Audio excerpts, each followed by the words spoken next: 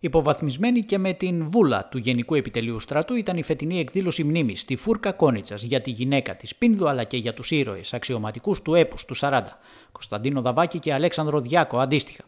Η πανδημία και οι περιορισμοί που ίσχυσαν τα προηγούμενα χρόνια φαίνεται πως αποτέλεσαν την αφορμή, ώστε η εκδήλωση να υποβαθμίζεται χρόνο με το χρόνο, γεγονός στο οποίο στάθηκε με ιδιαίτερα επικριτικό και έντονο τρόπο απέναντι στο Υπουργείο Άμυνας και το Γενικό Επιτελείο Στρατού ο Δήμαρχος Κόνιτσας και με λυπεί αφάνταστα το γεγονός η συνεχής υποβάθμιση της συγκεκριμένης εκδήλωσης.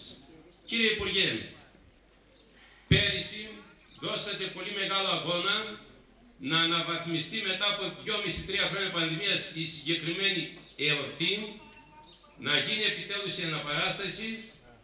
Βοήθησα και εγώ με τις μικρές μου δυνάμεις, γιατί ως στέλεχος εσείς της κυβέρνησης Σίγουρα είχατε μεγαλύτερες δυνατότητες, δεν το πετύχαμε πέρυσι. Αλλά αυτό κύριε Υπουργέ το φετινό, όπου εδώ και ένα μήνα με την επιστολή που έστειλα στο Υπουργείο, τι ζητάγαμε ως Δήμος, όπου ξαφνικά δεν έχουμε τοπογραφική ενημέρωση, δεν έχουμε άγγιμα. Αυτό οδηγεί αυτή την εκδήλωση με τη συνεχή υποβάθμιση σε λίγο χρόνο, σε λίγα χρόνια να ξεχαστεί. Πράγμα που εγώ προσωπικώς και πιστεύω η συντριπτική πλειοψηφία των συντηρητών δεν το δέχονται.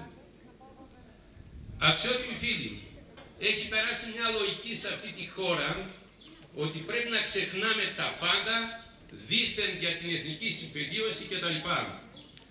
Τονίζω, σε μια σοβαρή χώρα θα πρέπει να αναδεικνύονται όλα τα ιστορικά γεγονότα, ο ελληνοτελικός πόλεμος, ο εμφύλιος πόλεμος, για να μην ξανακάνουμε τα λάθη που κάναμε. Και να μην ξεχνάμε ότι σήμερα είναι μια μαύρη μέρα για τον ελληνισμό μας, με τα γνωστά γεγονότα στην Κύπρο και με τον Ατήλα που αιματοκύλησε την Κύπρο μας. Τόσο ο πρώην Υφυπουργός Προστασίας του Πολίτη, Λευτέρης Οικονόμου, όσο και ο Περιφερειάρχης Αλέξανδρος Καχρημάνης, τόνισαν πως είναι κατανοητές και δικαιολογημένες οι διαμαρτυρίες και δεσμεύτηκαν πως θα μεταφέρουν αρμοδίως τη δυσαρέσκεια αυτή να μεταφέρω στην, στην ηγεσία του Υπουργείου Εθνικής Άμυνας ότι οι αξίες που υπάρχουν εδώ και τιμούνται από εμάς σήμερα έχει υποχρέωση το ελληνικό κράτος να τις τιμά είτε εδώ, είτε στο Σούλι, είτε στο Πέτα, είτε παντού. Δεν μπορεί να είναι κοτσορεμένες θα επισημάνω αυτό που είπε ο κ. Περιφερειάρχης, ότι από την πλευρά του και στο βαθμό και εμένα που μου αναλογεί θα μεταφέρω αυτό το δίκαιο αίτημα αλλά και παράπονο ότι θα οφείλει το Γενικό Επιτελείο Στρατού ε, αυτές τις εκδηλώσεις να τις περιβάλλει με το σεβασμό που περιέβαλε μέχρι τώρα και να μην ε, λειτουργεί σε πλαίσια μιας σταθερής υποβάθμισης διότι αυτό δεν αξίζει πραγματικά και δεν εκπροσωπεί ούτε την κυβέρνηση ούτε τον Πρωθυπουργό προσωπικά αλλά εκτιμώ και τη συντριπτική πλειοψηφία των ενόπλων στελεχών των ενόπλων δυνάμεων. Χρόνια πολλά και καλά. Στο ύψωμα του προφήτη Ηλία στη Φούρκα, σε ένα από τα πρώτα πεδία των μαχών μετά την Ιταλική εισβολή, εκεί που διαδραματίστηκαν σκληρές μάχες για την υπεράσπιση του πατρίου εδάφους, τελέστηκε επιμνημόσυνη δέηση και ακολούθησε κατάθεση στεφάνων και σύντομη ομιλία για τα γεγονότα που χαρακτήρισαν τις ημέρες του πολέμου στην περιοχή και αίνεψε αδελφοί μου. Ε, ο,